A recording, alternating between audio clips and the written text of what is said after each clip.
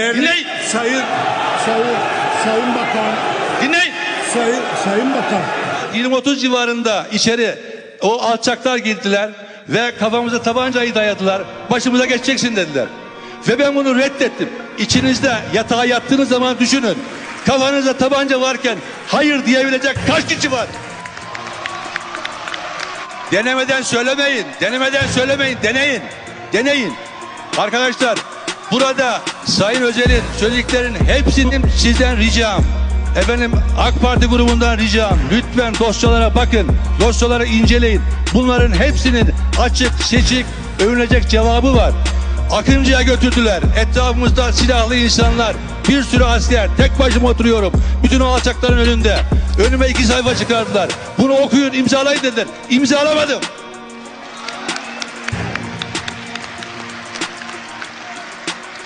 Sayın Özel'in, Sayın Özel'in Atatürk'ün partisi, Cumhuriyet Halk Partisi, bizim ebedi başkomutanımız Atatürk'ün partisi, Cumhuriyet Halk Partisi'nde Sayın Özel'in teröristlere dahi söylemediği, terör örgütlerine kadar söylemediği bir hususu bir genelkurmay başkanına 49 yıl hizmet yaptım ben. 49 yıl. 49 yıl bütün savcıların gözü önünde, bütün milletvekillerinin gözü önünde, hakimlerin gözü önünde, generallerin, amirallerin gözü önünde 49 yıl.